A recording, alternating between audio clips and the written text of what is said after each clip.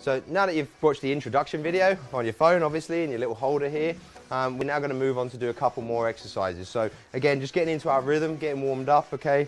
Going to hold on if we need to. If you want to push a bit harder, sometimes you can hold on. Just get those legs going and warmed up. Now we're going to focus on a little bit more technique, okay? So what we're going to do is we're going to try and keep our hands forwards. And we want to get that pressure almost near the balls of our feet, okay? So we don't want to be on our heels, kind of classic British style of skiing, you know, with the, the bum out, pushing the heels out. We want to be a little bit further forwards onto the balls of our feet. Feel the burn right in the top, uh, the top of the thighs here, just above the knee, okay? So hands forwards over the top of the machine, feeling that weight and that pitch forwards a little bit more. A little bit bend at the hip here, okay? So lower back at an angle, hands over, and then driving that way. You want to rest your elbows on the machine there, a little bit of balance you can, but make sure that weight's forwards. Easier to do by hanging them over. We're to do that for around 30 seconds at a time, maybe up to a minute. Then you have a quick rest, back to a little bit more gentle, easy, okay? Get your breath back. Nice breathing.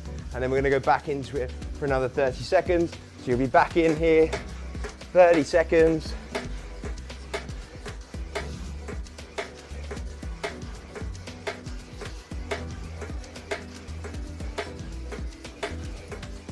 And then we're gonna take it easy again, okay? So that's one exercise for you to do, really practice that, getting that feeling underneath the balls of your feet, that weight forward inside your ski boots, and that muscle memory. So that's another exercise. Next one we're gonna move on to is using our poles. So, take a little deep breath. So now we're gonna use our poles. We're gonna work on that slight difference of separation in the upper body. So, whoop, one to practice with. So, when we're down in this side of the turn, what we really need to remember is that that is gonna be the outside foot. So we need to be planting the left pole.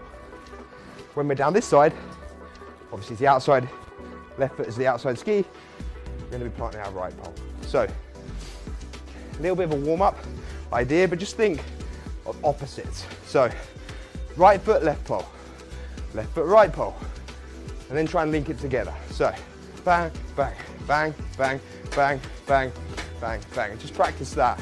The opposites, pole plants. Give that a little practice. You find you get out of rhythm, which you can do when you're getting used to it. Just reset and just focus on one side at a time. So right, right, right, right, right, right, and then left, left, left, left, left, left, and then we're gonna bring it together. So, right, left, right, left, right, left, right, left, right, left. And we're just gonna keep practicing that until we get better at it and we get a bit more rhythm. And then we're gonna bring that forward motion in as well. So it's gonna be really reaching with that pole like you would in a high speed turn, okay? Just bringing it all together, just improving that technique. And that's how we bring poles in to the ski simulator. Now we're gonna chuck some ski boots on and show you how the binding attachment works.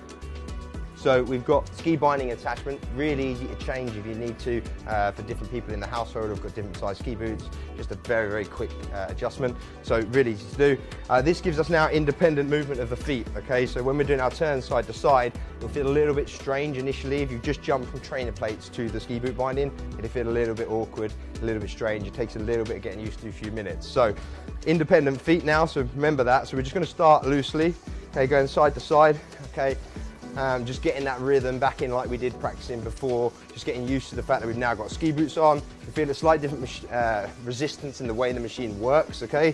So with your boots on, you're a little bit higher, you got a little bit more leverage, and also you got a little bit more weight. You've got you know, a kilo and a half or so per foot, depending on how heavy or old your ski boots are, how new and light they are. But you've got a little bit more weight coming through. So just getting into it, okay? Again, hold the bar if you need to.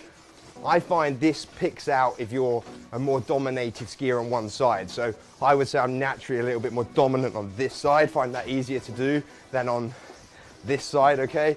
That comes out a little bit more when you've got the boots on.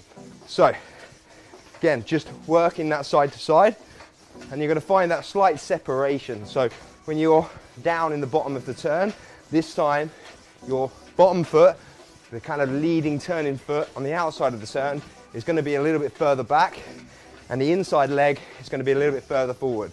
So just going to exaggerate that a little bit now.